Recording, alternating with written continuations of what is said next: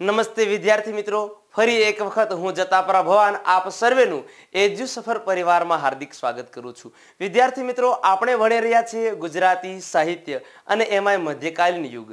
મધ્યકાલીન યુગની શરૂઆત આમ તો નરસિંહ મહેતાથી થઈ અને મધ્યકાલીન યુગનો અંત આજે જે સાહિત્યકાર ભણવાના છીએ એ સાહિત્યકાર એટલે કે દયારામથી થાય છે. તો આજે આપણે સવિશેષ દયારામ વિશે જોવાનું છે.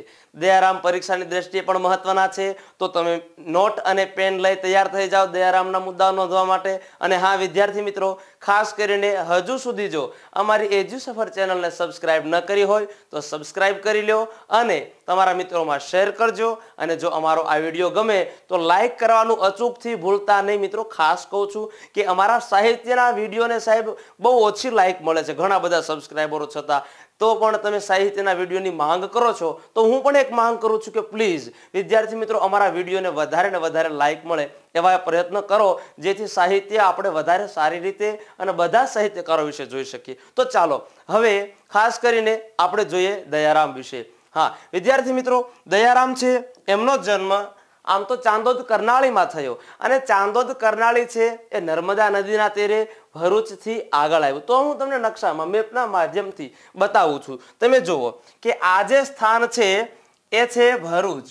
અને અહીંયા ભરૂચના કિનારે આ ખળખળ વહેતી માં નર્મદા. હવે આ નર્મદાથી જ આગળ ચાંદોદ કરનાળી તમને જોવા મળશે. જોઈ શકો છો વિદ્યાર્થી મિત્રો કે અહીંયા આ છે કરનાળી ચાંદોદ કરનાળી કે જ્યાં દયારામનો જન્મ થયો હતો. દયારામનો જન્મ આમ તો સત્તરસો ને સિત્યોતેરમાં થયો હતો એમ માનવામાં આવે છે. અને દયારામ છે એ ચાંદોદ કરનાળીમાં ઉછીરા અને બાર વર્ષ કે તેર વર્ષ સુધીનો સમય તો અહીંયા જ એમને પસાર કર્યો છે. એમના પિતાનું નામ પ્રભુદાસ છે. કદાચ પરીક્ષામાં પૂછાઈ જાય કે દયારામનું આખું નામ શું છે? તો કે દયારામ પ્રભુદાસ ભટ્ટ. હા, પોતે જ્ઞાતિએ સાઠોદરા નાગર બ્રાહ્મણ હતા અને એમનો વ્યવસાય પણ વેદાંતિક ક્રિયાનો. પરંતુ ચાંદોદ કરનાળી એટલે કે આપણે કહી શકીએ છીએ કે દક્ષિણનું કાશી, દક્ષિણ ગુજરાતનું કાશી. અને ત્યાં વૈષ્ણવ ધર્મ છે, એ સવિશેષ હોય.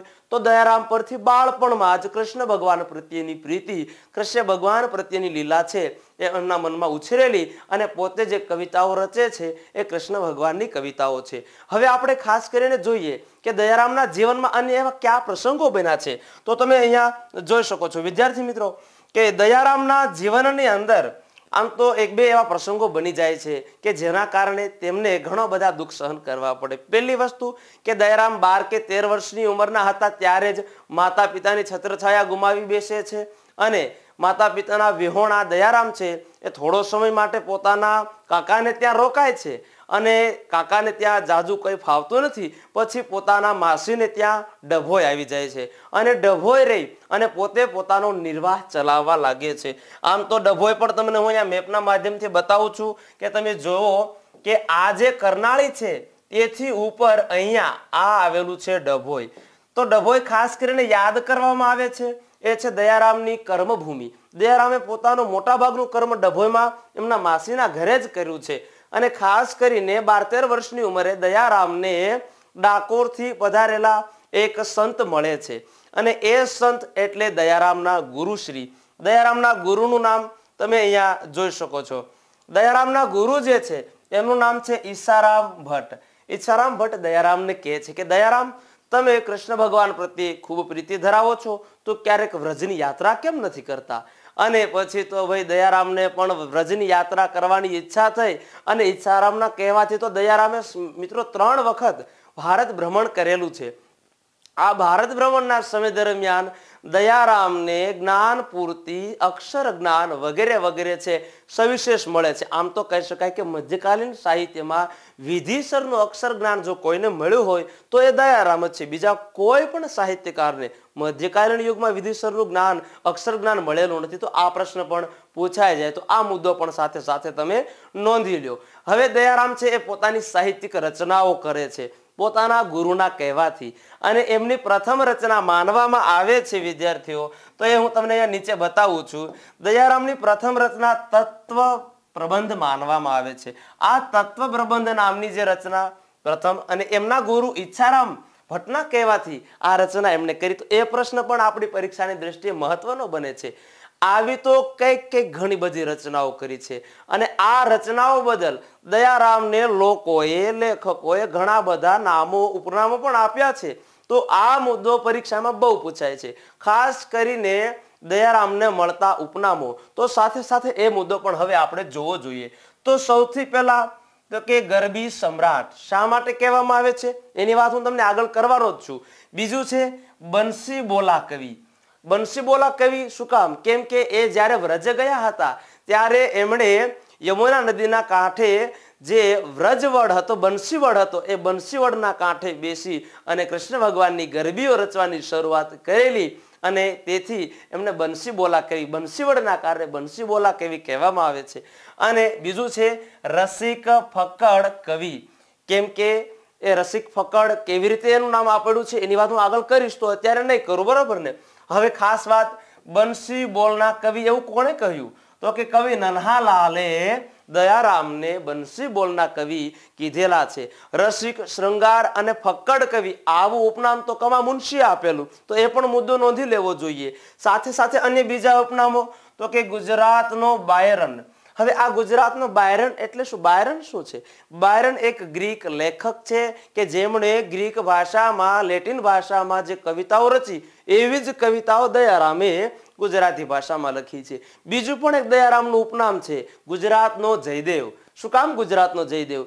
કેમ કે જયદેવ આમ તો તમે જાણો છો કે સાહિત્ય ક્ષેત્રે ગીત ગોવિંદ માટે વિશેષ જાણીતા છે. જો આ મુદ્દો તમે અહીંયા નોંધી લો વિદ્યાર્થી મિત્રો, ઘણી વખત પરીક્ષામાં છે, એ આ મુદ્દો આપણને પૂછાઈ જાય. કે ગીત ગોવિંદ કોની રચના છે? તો ગીત ગોવિંદ છે એ જયદેવની રચના છે. જયદેવ રચના, તો કે ગીત ગોવિંદ. હવે ગીત ગોવિંદની જે રચના છે, એવી જ રચનાઓ દયારામે પણ ગુજરાતી ભાષામાં કરી છે. તેથી ગુજરાતી ભાષામાં દયા દયારામને ગુજરાતી ભાષાનું શું કહેવામાં આવે છે? જયદેવ કહેવામાં આવે છે. તો હવે આગળ એના કવનો એમના જીવન વિશે જોઈએ. તો મેં તમને કીધું એમ કે ગુરુથી પ્રભાવિત થઈ. દયારામે ત્રણ વખત ભારત ભ્રમણ કર્યું અને એમાંય ખાસ કરીને કૃષ્ણ ભગવાન પ્રત્યેની પ્રીતિથી દયારામે સાત વખત નાથ દ્વારાનું પણ ભ્રમણ કરેલું. નાથ દ્વારા પણ ગયેલા. ત્યાં મીરાબાઈના જીવન કવન વિશે અમુક કૃતિઓ રચે છે. મારવાડી ભાષામાં અમુક કવનો રચે છે. વ્રજ ભાષામાં પણ અમુક કવનો એમના રચેલા છે.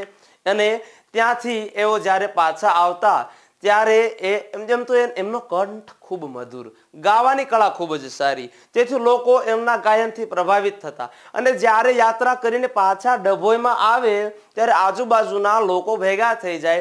અને દયારામને કે, દયારામ, કંઈક સંભળાવો, કંઈક વાત કહો. અને દયારામ પછી જે રચનાઓ કરે એ રચનાઓ કૃષ્ણ ભગવાનની અનન્ય ભક્તિને પ્રસ્તુત કરતી અને એ ગરબીઓ તરીકે ઓળખાણી. તેથી કહેવામાં આવે છે કે ગરબીના પિતા એટલે કોણ? તો કે દયારામ. જો અહીંયા મેં નોંધી જ રાખ્યું છે કે ગરબીના પિતા કહેવામાં આવતા હતા. અને ખાસ કરીને એમની જે રચનાઓ, જે ગરબીઓ રચતા, એ વ્રજ ભાષાના રેખતા નામના એક સાહિત્ય પ્રકારમાંથી લેવામાં આવી છે. તો આ મુદ્દો પણ આપણી દ્રષ્ટિએ પરીક્ષામાં મહત્વનો બની રહે છે. તેથી જ દયારામને મેં કીધું એમ કે ગરબી સમ્રાટનું શું મળેલું છે મિત્રો? ઉપનામ મળેલું છે. હવે એમની ગરબીઓ લોક જીભે ચડવા લાગી. ધીમે ધીમે દયારામ છે. એ કૃષ્ણ ભગવાનમાં વધુ ને વધુ રંગાવા લાગ્યા. આજીવન કૃષ્ણ ભગવાનની જ ભક્તિ કરવાનું કદાચ એને વિચારી લીધું. અને ઘણા સાહિત્યકારો તો એવું પણ માને છે કે દયારામની કૃષ્ણ ભક્તિ અને વ્રજમાં લખાયેલા એમના ગરબી સ્વરૂપી પદો મીરાબાઈના પદોની તુલના કરે એવા હતા. તેથી દયારામને ગુજરાતની મીરા કે ગુજરાતની ગોપી પણ કહેવામાં આવે છે. તો આ પણ એમના ઉપનામો જ કહી શકાય. અને પરીક્ષામાં આ પૂછાયેલા તલાટીની પરીક્ષામાં બે હજાર પંદરની અંદર આ પ્રશ્ન આવેલો. દયારામના ઘણા બધા આવા પ્રશ્નો પૂછાતા હોય છે. હવે દયારામના જીવન વિશે આગળ વાત કરીએ તો બહુ વિશેષમાં કાંઈ એના કાર્યો કે અન્ય કોઈ બીજી ઘટનાઓ નથી બનતી. પોતે કૃષ્ણમાં મસ્ત, કૃષ્ણ પોતાનામાં મસ્ત, બસ. અને એમ જ અઢારસો ને ત્રેપનની આસપાસ કદાચ દયારામે પોતાના અંતિમ શ્વાસ લીધેલા અને એ અંતિમ શ્વાસ એમણે ડભોઈ મુકામે લીધેલા. હજુ હાલમાં પણ તમે ડભોઈ જાઓ તો ત્યાં દયારામનો ઓરડો, દયારામ જે રામસાગર વગાડતા એ રામસાગર કે સિતાર,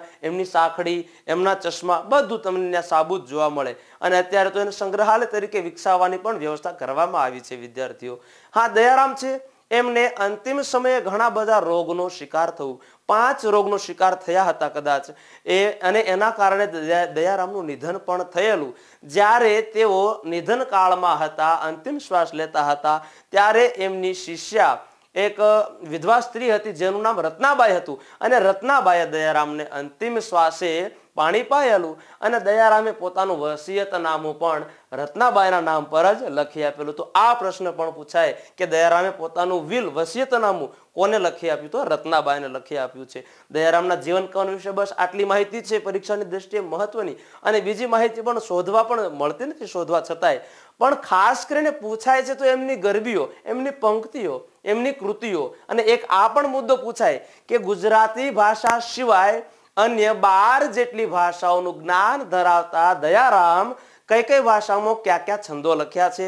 કઈ કઈ ભાષામાં કેટલા કેટલા પદો લખ્યા છે? તો જોઈએ દયારામની કૃતિઓ વિશે. તો વિદ્યાર્થીઓ, અહીંયા તમે જોઈ શકો છો કે દયારામ છે, એમણે ગુજરાતી ભાષામાં ખાસ કરીને અડતાલીસ જેટલા પદો રચ્યા. વ્રજ ભાષામાં એકતાલીસ મરાઠી ભાષામાં બસો જેટલા પદો રચ્યા છે. તદુપરાંત અહીંયા નીચે પણ તમે જોઈ શકો છો કે ઉર્દુ ભાષા જે છે એમાં પંચોતેર પદો લખ્યા છે અને હિન્દી ભાષામાં બાર જેટલા પદો રચ્યા છે. હા, એ ખાસ નોંધી લેજો. અને પંજાબી ભાષામાં ચાલીસ જેટલા પદો એમણે રચ્યા છે. તો આટલા બધા નોખી નોખી ભાષાઓમાં પદ રચવા એ કોઈ સામાન્ય વ્યક્તિ પાસે ન થઈ શકે. દયારામ ખરેખર એક વિચક્ષણ વ્યક્તિ છે એમ કહી શકાય. દયારામે અન્ય બીજી બધી ઘણી બધી કૃતિઓ રચી છે, પરંતુ પરીક્ષાની દ્રષ્ટિએ બે મહત્વની છે. એક કૃતિ તમે અહીંયા જોઈ શકો છો, રસિક વલ્લભ. જ્યારે શ્રીનાથ દ્વારાની યાત્રાએ ગયેલા, ત્યારે વલ્લભનાથ એમને મળેલા. અને એમના પ્રસંગને રસિક વલ્લભમાં દયારામે અંકિત કરેલું છે. અને બીજી છે એ આખ્યાન સ્વરૂપી છે, અજામિલ આખ્યાન, એ પણ દયારામે લખેલું છે. અન્ય એક બે પંક્તિઓ છે, ગુરુ શિષ્ય સંવાદને આતે, પરંતુ એ તો અખાની પણ છે. તેથી દયારામની પંક્તિઓ માનવી મુશ્કેલમાં હોય, એને આપણે અત્યારે લઈશું નહીં. હવે સવિશેષ જોઈએ. દયારામની જાણીતી પંક્તિઓ, પરીક્ષામાં વખત તો વખત પૂછાતી પંક્તિઓ. અને તમે આને ખાસ નોંધી લેજો, બહુ મહત્વની છે. તો આપણે જોઈએ દયારામની જાણીતી પંક્તિઓ વિશે. તો અહીંયા મેં દયારામની જાણીતી જે જે પંક્તિઓ છે, એ બધી જ લખી છે. પરીક્ષાની દ્રષ્ટિએ જે મહત્વની છે. સૌથી પહેલી પંક્તિ, જો કોઈ પ્રેમ અંશ અવતરે પ્રેમ રસ એના ઉરમાં ઠરે. સરસ મજાની આ પંક્તિ ધોરણ અગિયારમાં કાવ્ય સ્વરૂપે આવે છે, ગરબી સ્વરૂપે આવે છે અને પરીક્ષાઓમાં વખતો વખત આ પંક્તિ પૂછાય છે. બે હજાર બાર, બે હજાર પંદર અને બે હજાર સોળમાં લેવાયેલી તલાટીની પરીક્ષામાં આ પ્રશ્ન પૂછાયેલો હતો. તો નોખા નોખા જિલ્લાઓમાં પ્રશ્ન પૂછાયેલો હતો. તો તમે એને યાદ રાખજો. બીજું છે, શ્યામ રંગ સમીપે ન જાવું. હવે ઘણા લોકો એવું કહે છે કે આ કોઈ કૃતિ છે નહીં. આ કોઈ કૃતિ નથી, એક ગરબીનું ટાઇટલ છે, જેને આપણે એમ કહી શકીએ કે શીર્ષક છે એમ કહી શકાય. તો એ એ પણ ધોરણ બારમાં આવે છે, જેથી આપણી માટે મહત્વનું બની રહે છે.